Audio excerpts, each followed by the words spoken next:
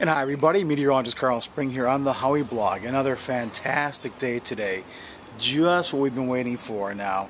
We've got a few in a row and it's great. No cold, no snow, no wind, no nothing. Just sunshine, blue skies all day long today.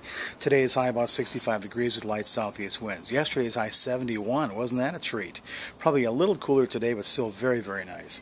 Tonight, partly cloudy and 44. And then after today, a couple uh, days of not so perfect weather. In fact, tomorrow, a good chance of showers and thunderstorms. 65 for high tomorrow, but cloudy and rainy. Not so much uh, sunny like today.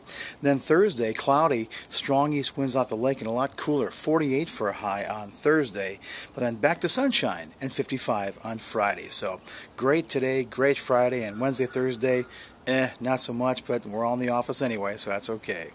Thanks for being here on the Howieblog today. For more information, go to my website, karlspringweather.com. Have a great day today and enjoy the sunshine.